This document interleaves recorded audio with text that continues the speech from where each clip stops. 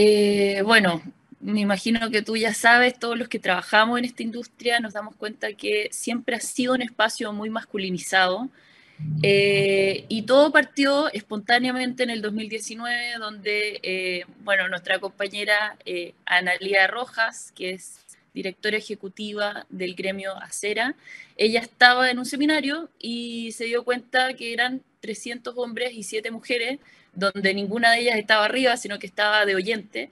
Em, y espontáneamente dijeron, ¿por qué no hacemos un chat donde podamos eh, apoyarnos, colaborar si es que hay algo que hacer en conjunto, invitarnos a otros seminarios, si es que alguien se quiere cambiar de trabajo, que existiera este espacio eh, de apoyo y empezar a atraer a nuevas mujeres. Así que todo empezó de esta forma súper espontánea.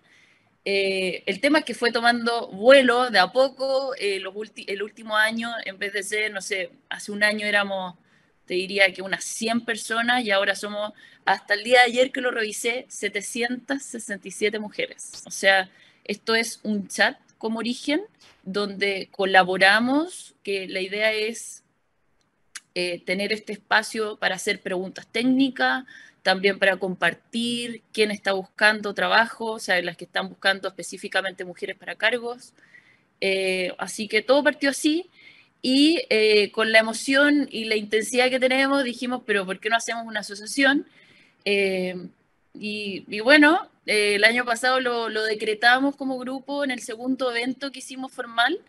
y este año dijimos ya, ok, tenemos que comprometernos y hacer que las promesas se hagan realidad, así que el 18 de mayo